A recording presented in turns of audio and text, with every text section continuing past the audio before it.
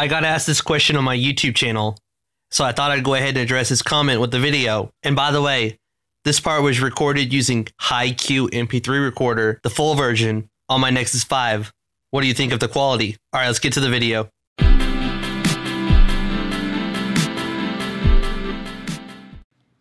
In this video, I'm going to show you how to downgrade the bootloader on the Asus Transformer Prime from 4.2.1 to the 4.1.1 JB bootloader that came with the uh, Asus Transformer Prime and the Jelly Bean update. So we have did a Nandroid backup of the current Hairy Bean 2.2 because uh, we're going to be installing Hairy Bean 2.3 but I wanted to go ahead and show you the whole process going from 4.2.1 to 4.1.1 for those of you that are, you know, maybe you don't like Hairy Bean or you're wanting to try another ROM that requires the 4.1.1 bootloader. So we backed up our ROM with a Nandroid backup onto the micro SD card that's on the side here that you can't see. And our apps are currently being backed up to the external SD card because uh, the internal storage is going to get wiped when we flash this 100% stock ROM from ASUS while we're in custom recovery. So you'll want to make sure that you back up. Make sure that uh, what I did was I went to Titanium Backup. I pressed backup on like one single app, and then I closed Titanium Backup. I went to the built-in file manager on the Prime, and then I moved that entire Titanium Backup folder that was on my internal storage onto the external storage. I went into to Titanium Backup, hit the little menu button up here, Preferences, Backup Folder Location. I hit Detect or Scan Whole uh, Device, and then it, it found the micro SD card. I pressed on it, pressed OK, went back, and from then on out, everything will be stored on the external storage instead of the internal storage on the Transformer Prime. So we're just going to wait for this to finish, and then we're going to go into custom recovery we're going to flash the 4.1.1 downgraded bootloader, and then we're going to flash the stock ROM. After we flash the stock ROM, we're not going to have root, we're not going to have custom recovery, we're going to be 100% stock from ASUS. So we're going to need to go back into fastboot, hook the device up to the computer, and we're going to need to uh, flash over the TWRP recovery and then flash the SuperSU.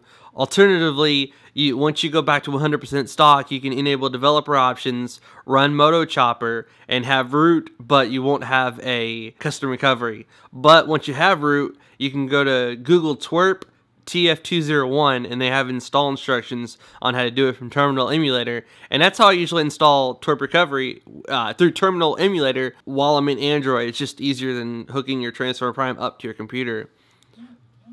Alright, so we're done. We're to go ahead and turn the device off. Sometimes I get comments of people saying, God, he talks too effing much. But I just try to explain everything thoroughly and get my point across and not not leave anything out. So we're to hold the volume down in the power button until we see RCK. And then we're to press volume up.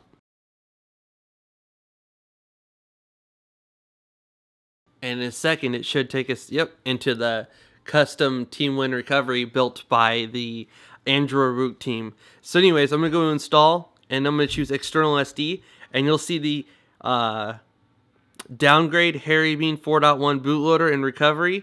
We're going to go ahead and install that. And then I'm going to choose reboot system and it should take us back into TWRP Recover or into see wait you gotta wait for the little bar to fill up. That means that the 4.1.1 bootloader is being installed, uh, as far as I'm aware.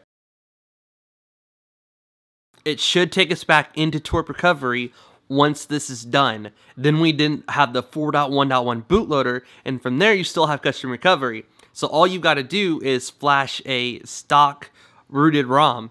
I'm choosing to go 100% stock that's my choice. You don't have to. It's up to you. If you're not comfortable with hooking your Transfer Prime up to your computer and flashing custom recovery through fastboot, then you might want to choose one of the uh, stock 4.1.1 rooted ROMs available on XDA forums. And if you're curious, I do have a video showing how to root and install custom recovery on the 4.1.1 bootloader with the Jelly Bean update. So it says right there, formatting internal storage. So keep in mind that you are going to lose everything during this process, and you're going to lose everything whenever you flash the uh, 4.1 official ROM from ASUS as well. So that's why we're storing all our Titanium backup stuff and our Nandroid backup. All of that's on this external storage because it's not going to touch that at all.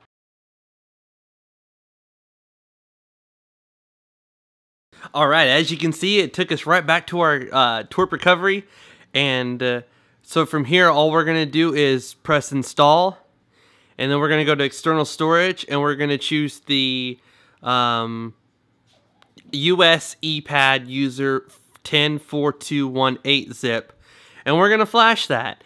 And uh, basically, when you Google ASUS TF201, you, you find the uh, the Transformer Prime, you go to support, you click download, you choose Android, and then like the top link has the link to the uh, US ePad user 104218 zip. It's like 300 something megabytes, I believe. And inside that zip is another zip. You need to take that zip out of there with like 7-zip, for example, and drag that to your desktop, and then put that on your micro SD card. All this is stuff I did in my video on how to root um, Jelly Bean 4.1.1 and install custom recovery. So after this, we're not going to have custom recovery. We're not going to have root, anything like that. Like I said earlier, I'm going to cut the video once it's done, show you that it reboots in the stock Android. I'm going to go flash 2600 via fastboot and then I'm going to install HairyBean 2.3 and make that video.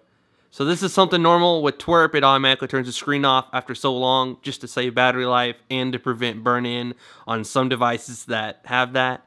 So we're done.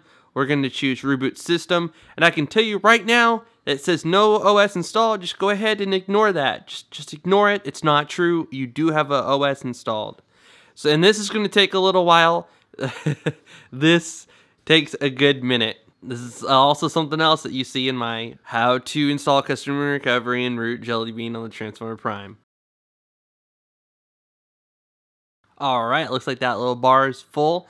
And now we should see the little ASUS thing with it spinning. And we should be good to go. We should have um, a 100% stock Transformer Prime on the very latest official 4.1.1 update from ASUS that they freaking over a year old they have not given us 4.2. It's why Hairy Bean's a pretty awesome ROM, and it's what I've been using, and I'll continue to use even after I do this video. I'm just doing this so I can show people how to downgrade if they want to. Because um, on my official install video, I want to show people how to go from the 4.1.1 bootloader to Hairy Bean, which requires the 4.2.1 bootloader. So, yeah, I mean, that's a mouthful, I know. All right, here we go. Welcome, and we should be already this little sorry the lights are so bright it's hard to see connect to my network hit connect and then it's gonna ask us if we have a google account i'm gonna go ahead and hit no for now i am central time none of this matters because i'm gonna install Hairy Bean 2.3 i'm just uh there we go hit the little arrow no, I do not have Google. No, I do not want Google. Um, just get past these screens, setup complete. There we go. Uh, let's open that drawer just to prove to you there's no root. There is nothing at all. One page of apps, and that's that's it. That's no super user nothing. Our our internal storage is completely wiped. There's nothing in here. But on our SD card, sorry, our removable SD card, there's all our Titanium backups and everything. So I'm going to hook this up to the computer and I'm going to go install Custom Recovery. If you enjoyed this video, please give it a thumbs up. If this video helped you out or if you just enjoyed it, period, please give it a thumbs up. If you're new to my channel, please subscribe for many more videos. I am upgrading to the Transformer Pad Infinity when that comes out and I'm pretty freaking excited about it. So please subscribe or you'll seriously miss out on a lot of awesome videos and tons of unboxings and how to root and etc. This is what would Josh do and I'm out. I had to go ahead and use my zoom for this part because it don't feel that my Nexus 5 recorded that well with HiQ. Anyways, I recently unboxed the PlayStation 4 and the Xbox One, so if you want to see those two videos, I'll try to link to them in the description below, or you can just go to my uploads and search wwjoshdew, Xbox, or PlayStation. Also in the description, There's links to my Twitter, Facebook, Google Instagram, my gaming channel where I upload Call of Duty, Battlefield, uh, just anything gaming related, and my second channel where I upload videos for my phone. In the description, you'll see a part that says Show More. Please click that, and you'll be able to expand the description and see all the links because there are several of them.